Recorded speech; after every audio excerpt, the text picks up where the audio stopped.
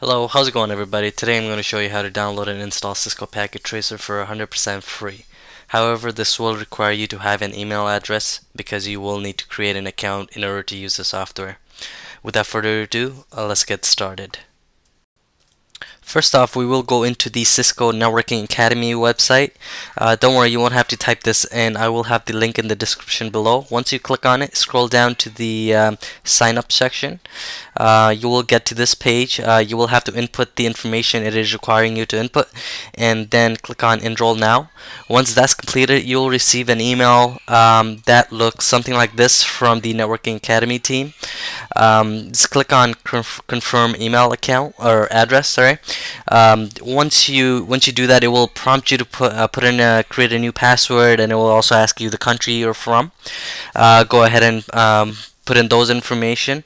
Once you do, once you complete that, you will get to this website right here. Once you get to this website, you will be able to see the courses you're enrolled in. For example, Cisco Packet Tracer 101. Uh, click on Launch Course. Once you get here, click on Download Packet Tracer. Uh, click on it one more time there. Select the uh, operating system and the version uh, that you're currently running. I am running Windows 10 64-bit, so I'm going to download that. I will resume once the download is complete. Okay, uh, now that the download has been completed, I've saved the uh, installer file on the desktop. I am going to double click on it to run it. I just have to input my administrator password to install on this computer. Uh, click on next, accept the terms and agreement.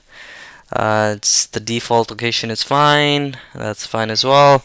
I will also create a quick launch uh, icon and then install.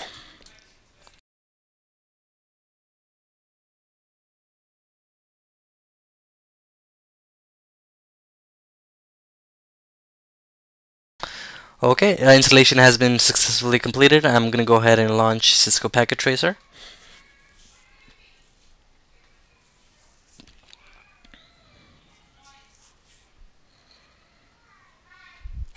Uh, this is only for the first time. The first time you launch uh, Cisco Packet Tracer, you will need to log in uh, with the uh, account that you created earlier. Uh, this is only for the first time. By the way, the next time you run Cisco Packet Tracer, you won't have to log in every time. Actually.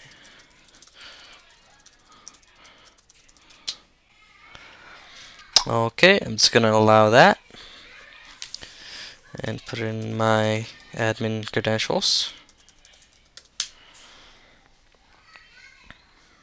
Okay, here it is, uh, Cisco Packet Tracer, guys.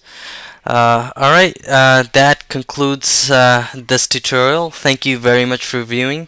Uh, if you thought this was helpful, please like, comment, share, and subscribe. I will see you guys in the next one.